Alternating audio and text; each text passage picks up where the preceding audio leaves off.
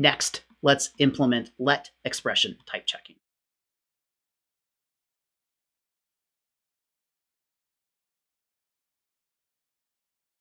We'll pause here.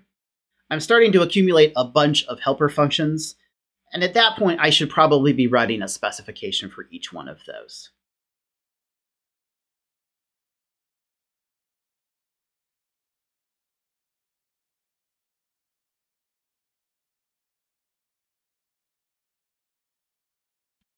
Now, how do I implement type of let? Well, the rule that we invented before for type checking of let tells me exactly how. I need to type check E1, make sure that has the type T as the programmer specified, and extend the static environment with it to type check E2. So we'll implement that.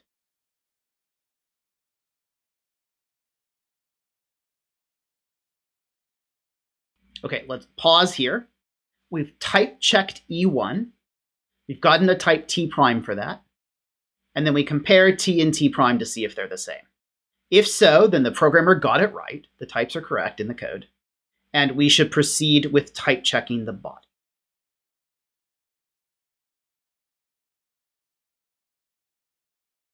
I've invented a new helper function here. I want to extend the static environment to bind a name to a new type. And in that extended static environment, I will type check E2 and return whatever that type is. We'll write that helper function in just a second. Uh, for now, let me finish off type of let. If t and t prime were not the same, then we have a type checking error. Now, this is a new error, one that didn't occur before at runtime, because we never had types around before. So I'm going to need to introduce a new string for representing type annotation errors.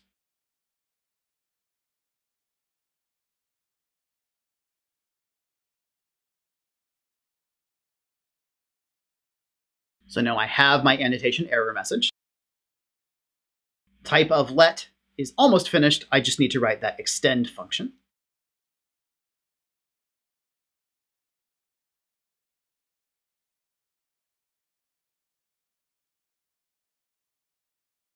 And of course, I can implement that extend function quite easily since this is just an association list.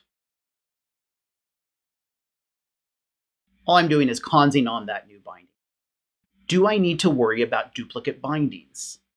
The semantics of the language involves shadowing. A binding of a variable name in an inner scope shadows a binding of the same name in the outer scope. So by putting the new binding at the front of the list, I'm guaranteeing that that new binding shadows any previous bindings. Therefore, I rather nicely get exactly the right semantics, and I don't even have to worry about crawling down the list to remove any duplicate bindings. That finishes type of let. Now I can go back and add the next syntactic form.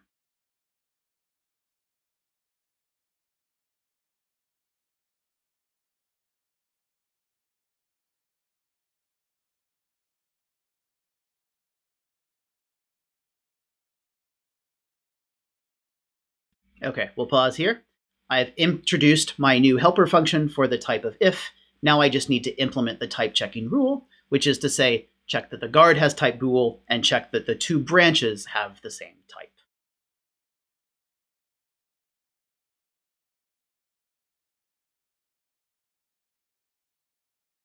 We'll pause again here.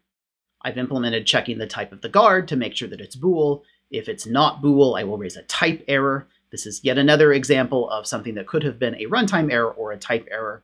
We're going to prevent this error at runtime with type checking, but we still have to leave the branch in farther down below in the code. Now we can implement checking the branches.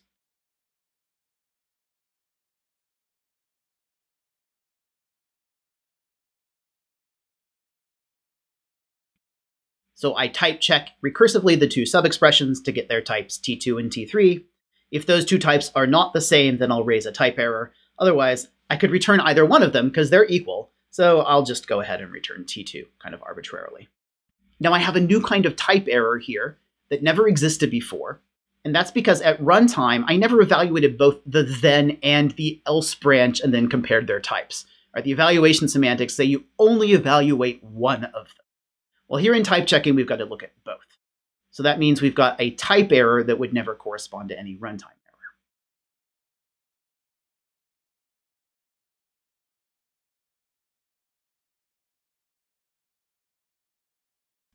error. Okay, so I've added in that error message now, and that concludes the implementation of type of if. And furthermore, that concludes the entire implementation of type of. That means my entire interpreter is now finished. I've added all of type checking to it. So I could go ahead and run a test suite. Now, of course, I should have been running these tests cases all along as I implemented this using test driven development. I trust that you understand how to do that and can use it effectively now. There are times when you need to use it and maybe times when you don't. Here was a case where I was confident in what I was doing, so I didn't feel the need to use it, but I could always have returned to it if I needed to. So I do have a test suite here, basically the same test suite that we've been using all along for our simple interpreters. Uh, but now I've added some type checking to it. My let expressions are all annotated with types, and I have some cases here to check type checking of mismatched binary operators with operands, of if expressions that have various type errors, and of unbound variables. Let's run that test suite. And it succeeds! Yay! We've finished adding type checking to SimPL.